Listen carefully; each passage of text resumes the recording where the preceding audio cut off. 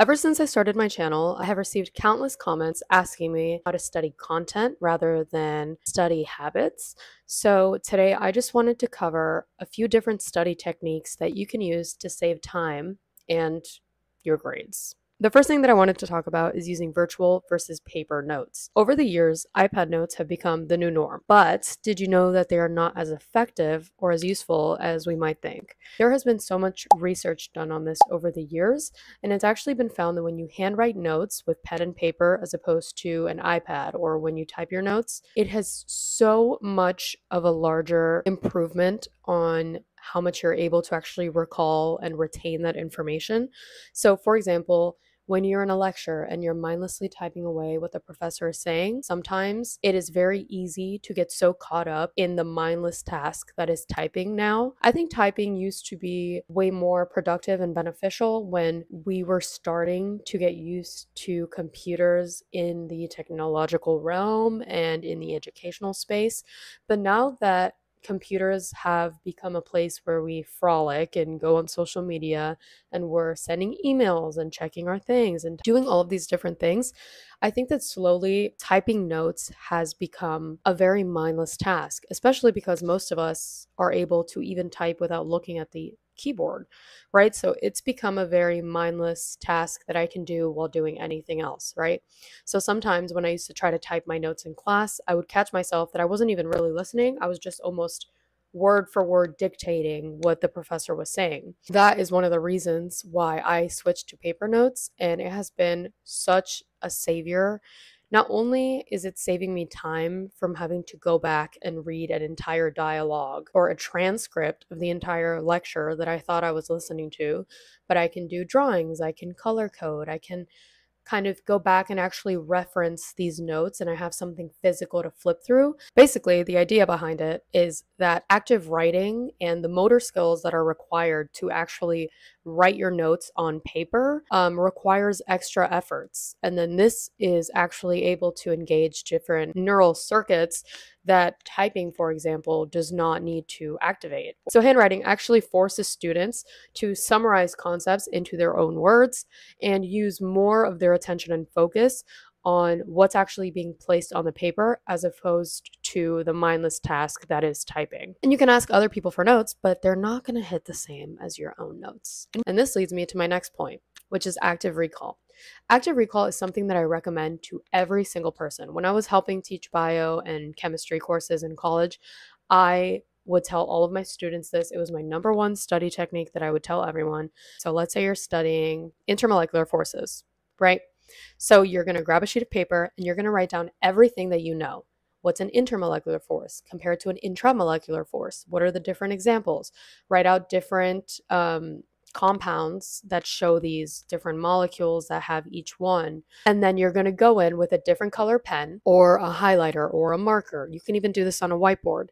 And you're going to fix whatever you put wrong on the paper and you're going to rewrite whatever you're missing, right? So let's say that you mentioned a certain intermolecular force, but you realized that you didn't really define it in the way that you were meant to. You're going to go back, you're going to rewrite it, and you're just going to go in and fill in the gaps of anything that you missed. I did this for high school when I was studying history courses. I did this in college when I was doing chemistry and even biochemistry when I would write all of the amino acids that I could remember, their pKas of their side chains. Basically, you're going to word vomit, for lack of a better term, onto the paper. You're going to see everything that you know, the things that you don't know. It improves long term retention and it reduces the need for repetitive studying. Even if you doubt it, I say try it one time. If you don't like it, I have another method for you. The next thing I wanted to talk about is maybe handwritten notes aren't your thing. That's completely fine. Some people have grown accustomed to their iPads using GoodNotes, Notability, things like that that's completely fine. So another app or website that you can use because the app is not free, but the website is is Anki. It's essentially a spaced repetition site and you can make these flashcards. I talk about it a lot on my channel. I was a really big hater at first because I just thought it was BS. I hate flashcards. I still hate flashcards. Handmade flashcards don't work for me. There's a lot of pre-made decks on Anki that you can download and use. I use some of them for the MCAT. I use the Miles Down deck. There's the Jack Sparrow deck. These have weird names because people just name them whatever they want. You can upload images. You don't need to pay like you have to pay on Quizlet to upload images of your own.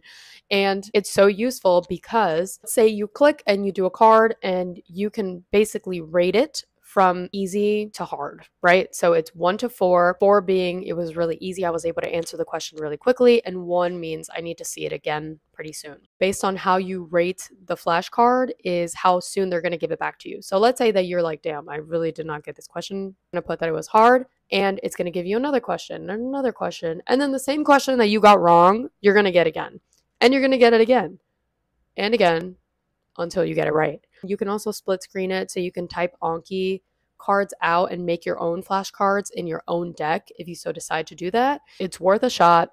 If you want to save time, this is a very good way to passively study. I say passively because it doesn't require a lot of effort and you don't even realize how much you're starting to know and remember until the next time you open them. The next thing that I wanted to talk about was actually enforcing your ability to recognize concepts. So, interleaving is when we mix in related topics, allowing us to mentally incorporate existing knowledge with this new information that we are learning. So, for example, if I'm studying the endocrine system, you want to also be able to understand how these different things are affecting the nervous system and how everything kind of works together, right?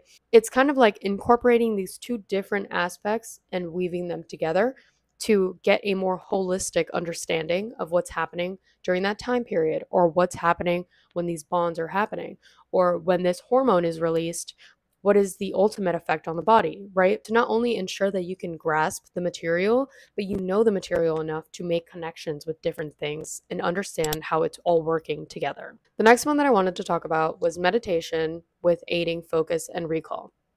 I know everyone wants to talk about meditation, everyone wants to talk about journaling, but have you tried it? If you tried it and you didn't like it, that's something different. But if you haven't tried it and you don't think it's going to work, just try it. I mean, kind of biased because you don't think it's going to work, so it might not work because you might placebo yourself. The fact that meditation and all of these mindfulness habits have actually been shown to increase gray matter in the brain is insane. If you don't know, gray matter made up of an accumulation of dendrites and neuronal cells and a bunch of different things in your brain that are associated with memory and retention, learning, problem solving. On the other hand, a decrease in gray matter activity is actually correlated heavily with disorders like depression, schizophrenia, Alzheimer's. So it's beneficial not only for studying, but in the long run and for your overall health to just take care of yourself. So if you really want to save time and you want to save energy, you need to make time for yourself and you need to prioritize yourself and your mental well being because it's going to be really difficult to try to focus and to be productive. If meditation for you means sitting down crisscross and closing your eyes and just taking deep breaths for one minute, that's perfectly fine. If meditation for you means going to the gym and doing a super heavy lift, that's perfectly fine. Meditation for you means just going outside for two minutes, that's fine too. Whatever your kind of meditation is, do that because it's beneficial. It's been shown to be beneficial those are all the things that I wanted to talk about. I mm, did not mention this in my last video. I put it in the description box, but I want to know if you guys have any questions or any videos that you guys would like to see in the future. Yeah, hopefully these study techniques work and they help you save time.